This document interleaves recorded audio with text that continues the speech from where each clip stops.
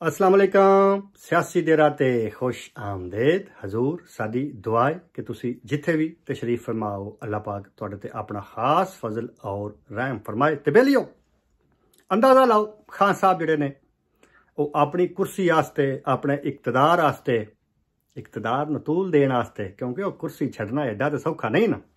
Israel Israel ਨੇ ਇੰਨੇ ਸਾਲ ਮਿਹਨਤ ਕਰਕੇ ਤੇ ਉਸ ਕੁਰਸੀ ਤੇ ਇਹਨੂੰ ਬਿਠਾਇਆ ਔਰ ਬਿਠਾਣ ਤੋਂ ਬਾਅਦ ਜੋ ਜੋ ਉਹਨਾਂ ਨੇ ਕਿਹਾ, ਜਿੰਨਾ ਕੋ ਪੈਸਾ ਦਿੱਤਾ ਫਾਰਨ ਫੰਡਿੰਗ ਕੇਸ ਤੁਹਾਡੇ ਸਾਹਮਣੇ ਆ, ਉੱਥੋਂ ਸਭ ਤੋਂ ਜ਼ਿਆਦਾ ਪੈਸਾ ਜਿਹੜਾ ਉਹ ਇਸਰਾਈਲ ਤੋਂ ਆਇਆ ਹੁਣ ਇਸਰਾਈਲ ਦੇ ਵਿੱਚ ਕਿਹੜੀ ਤਰੀਕੇ ਇਨਸਾਫ ਹੈ?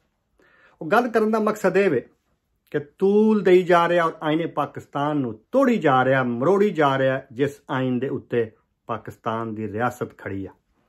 ਯਾਨੀ ਕਿ ਰਿਆਸਤ ਦੇ ਟੁਕੜੇ ਟੁਕੜੇ ਕਰਨਾ ਚਾਹ ਰਿਹਾ ਏ ਇਸ ਟਾਈਮ ਆਪਣੀ ਕੁਰਸੀ ਵਾਸਤੇ ਕਿ ਮੈਨੂੰ ਨਾ ਛੇੜੋ। ਭਾਈ ਜੀ, ਕਿ ਮੈਨੂੰ ਨਾ ਛੇੜੋ।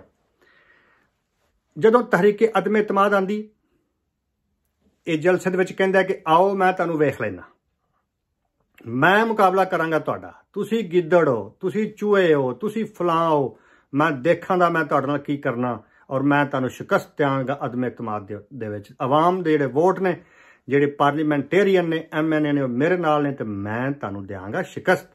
ਮੈਂ ਤਾਂ ਸ਼ੁਕਰ ਅਦਾ ਕੀਤਾ ਕਿ ਤੁਸੀਂ ਮੇਰੇ ਖਿਲਾਫ ਅਦਮ ਇਤਮਾਦ ਲੈ ਕੇ ਆਏ ਉਸ ਤੋਂ ਬਾਅਦ ਕੀ ਹੁੰਦਾ ਉਸ ਤੋਂ ਬਾਅਦ ਇਹ ਜਾਂਦਾ ਰਸ਼ੀਆ।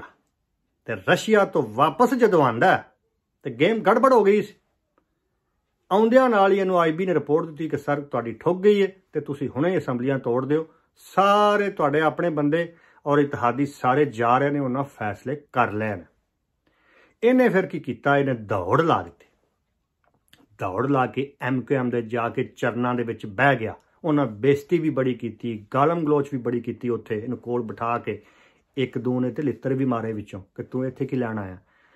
ਉਹਨਾਂ ਦੇ ਤਰਲੇ ਕੀਤੇ, ਫਿਰ ਕਾਫ ਲੀਗ ਦੇ ਘਰ ਚਲਾ ਗਿਆ, ਉਹਨਾਂ ਦੇ ਤਰਲੇ ਕੀਤੇ, ਫਿਰ ਬਾਪ ਪਾਰਟੀ ਦੇ ਘਰ ਚਲਾ ਗਿਆ, ਉਹਨਾਂ ਦੇ ਤਰਲੇ ਕੀਤੇ, ਫਿਰ ਜੀਡੀਏ ਕੋਲ ਚਲਾ ਗਿਆ, ਲੇਕਿਨ ਕਿਧਰੋਂ ਵੀ ਖੈਰ ਨਾ ਪਈ। ਔਰ ਆਈਬੀ ਜਿਹੜੀ ਇਹ ਬਾਰ-ਬਾਰ ਕਹਿ ਰਹੀ ਸੀ ਕਿ ਸਰ ਅਸਤੀਫਾ ਦੇ ਦਿਓ ਔਰ ਅਸੈਂਬਲੀਆਂ ਤੋੜ ਦਿਓ, ਇਸ ਟਾਈਮ ਤੁਹਾਡੇ ਕੋਲ ਵਕਤ ਹੈ। ਬਾਅਦ ਚੋਂ ਇਹ ਵਕਤ ਨਹੀਂ ਜੇ ਲੱਭਣਾ। ਉਹ ਸਰਕਾਰ ਡਟਿਆ ਰਿਹਾ, ਉਹ ਫਿਰ ਦੂਸਰੇ ਪਾਸੇ ਤੁਰ ਪਿਆ। ਸ਼ਾਹ ਮਹਮੂਦ ਕੁਰੈਸ਼ੀ ਨੂੰ ਬੁਲਾ ਕੇ ਆਂਦਾ ਕਿ ਹੁਣ ਕੀ ਕਰੀਏ? ਉੱਥੇ ਬਹਿ ਕੇ ਫਿਰ ਇੱਕ ਨਵੀਂ ਸਾਜ਼ਿਸ਼ ਤਿਆਰ ਕੀਤੀ। ਚੰਦ ਸਵਾਲ ਤਿਆਰ ਕੀਤੇ ਔਰ ਉਹਨਾਂ ਸਵਾਲਾਂ ਦੇ ਜਵਾਬ ਵੀ ਆਪ ਹੀ ਤਿਆਰ ਕੀਤੇ। ਉਹ ਸਵਾਲ ਦਿੱਤੇ ਅਮਰੀਕਾ ਦੇ ਐਮਬੈਸਡਰ ਨੂੰ, ਜਿਹੜਾ ਪਾਕਿਸਤਾਨ ਦਾ। ਅਸਦ ਸਾਹਿਬ ਨੇ ਉਹਨੂੰ ਕਿਹਾ ਵੀ ਇਹ ਸਵਾਲ ਨੇ ਤੇ ਤੂੰ ਇਹ ਜਵਾਬ ਲਿਖ ਕੇ ਕਰਨੇ ਨੇ ਕਿ ਸਾਡੇ ਖਿਲਾਫ ਅਮਰੀਕਾ ਸਾਜ਼ਿਸ਼ ਕਰ ਰਿਹਾ ਔਰ ਸਾਡੀ ਹਕੂਮਤ ਜਿਹੜੀ ਹੈ ਉਹ ਤੋੜ ਰਿਹਾ ਆਪੋਜੀਸ਼ਨ ਦੇ ਨਾਲ ਮਿਲ ਕੇ ਤੇ ਆਪੋਜੀਸ਼ਨ ਨੂੰ ਪੈਸੇ ਦੇ ਰਿਹਾ, ਇਹ ਤੂੰ ਸਾਨੂੰ ਕੱਲ ਕਿ ਤੈਨੂੰ ਕਿਸੇ ਅਮਰੀਕਨ ਨੇ ਇਹ ਗੱਲ ਕੀਤੀ ਹੈ। ਉਹਨੇ ਕਿਹਾ, ਸਰ ਜੀ, ਇਹ ਮੈਂ ਕਿਸ ਤਰ੍ਹਾਂ ਕਹਿ ਸਕਦਾ? ਉਹਨੇ ਕਿਹਾ, ਨਹੀਂ, ਤੂੰ ਕਰ, ਵਰਨਾ ਤੇਰੀ ਆਸੀ ਤੇ ਅਸੀਂ ਫੇਰ ਦੇਾਂਗੇ ਤੈਨੂੰ, ਫੜ ਲਾਂਗੇ, ਜੇਲ੍ਹ 'ਚ ਦੇ ਦੇਾਂਗੇ ਜੋ ਵੀ ਤੁਹਾਨੂੰ ਪਤਾ ਹੀ ਹੈ ਸਾਰਾ ਮਸਲਾ।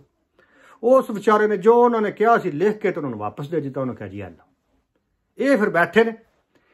ਇਹਨੇ ਫਿਰ ਜਲਸੇ ਦੇ ਵਿੱਚ ਕਿਹਾ, ਮੈਨੂੰ ਤੇ ਅਮਰੀਕਾ ਹਟਾਣਾ ਚਾਹ ਰਿਹਾ ਅਗਲੇ ਦਿਨ ਉਹ ਪਾਕ ਫੌਜ ਨੇ ਇਹਨੂੰ ਕਿਹਾ, ਆਓ ਜੀ, ਕਿੱਥੇ ਤੁਹਾਨੂੰ ਅਮਰੀਕਾ ਹਟਾ ਰਿਹਾ ਜਿਹੜਾ ਵਹਾਓ ਹਜ਼ਰਤ ਸਾਨੂੰ? ਪਹਿਲੇ ਤਾਂ ਉਹਨੂੰ ਵਹਾਵੇ ਨਾ ਕੁਛ, ਉਹ ਈਮੇਲ ਸੀ। ਉਹਨਾਂ ਕਿਹਾ ਵਹਾ ਹੈ ਕੀ ਤੇਰੇ ਕੋਲ? ਬਾ ਜਿਹੜਾ ਤੈਨੂੰ ਅਮਰੀਕਾ ਹਟਾ ਰਿਹਾ, ਤੂੰ ਕੀ ਕਰ ਬੈਠਾ ਅਮਰੀਕਾ ਨਾਲ?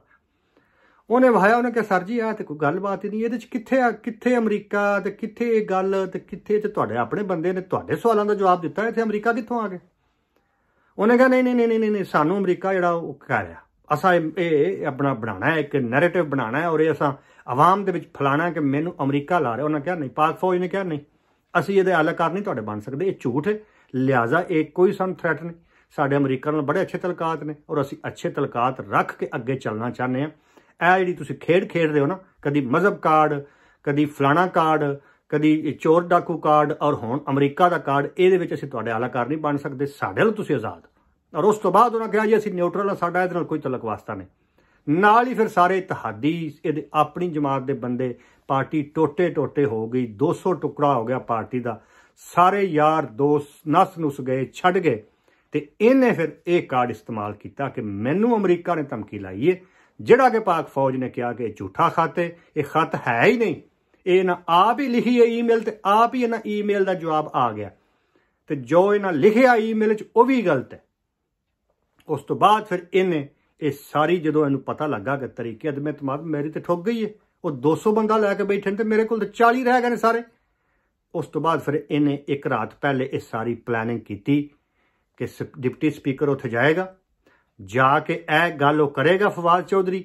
ਉਹਦਾ ਇਹ ਜਵਾਬ ਦੇਗਾ ਕਿ ਸਾਜ਼ਿਸ਼ ਹੋ ਗਈ ਲਿਆਜ਼ਾ ਇਹ ਅਸੀਂ ਕਲਦਮ ਕਰਾਰ ਦਿੰਦੇ ਆ ਫਟਾਫਟ ਨਾ ਸਾਵੇਗਾ, ਨਾਲ ਹੀ ਮੈਂ ਅਸੈਂਬਲੀਆਂ ਤੋੜ ਦਿਆਂਗਾ, ਨਾਲ ਹੀ ਸਦਰ ਜਿਹੜਾ ਉਹ ਨਵੇਂ ਇਲੈਕਸ਼ਨ ਕਾਲ ਕਰ ਦੇਗਾ ਤੇ ਮੈਂ ਬਚ ਜਾਵਾਂਗਾ ਖਾਨ ਸਾਹਿਬ, ਨਾ ਆਇਨੇ ਪਾਕਿਸਤਾਨ ਨੂੰ ਤੁਸੀਂ ਤੋੜਿਆ।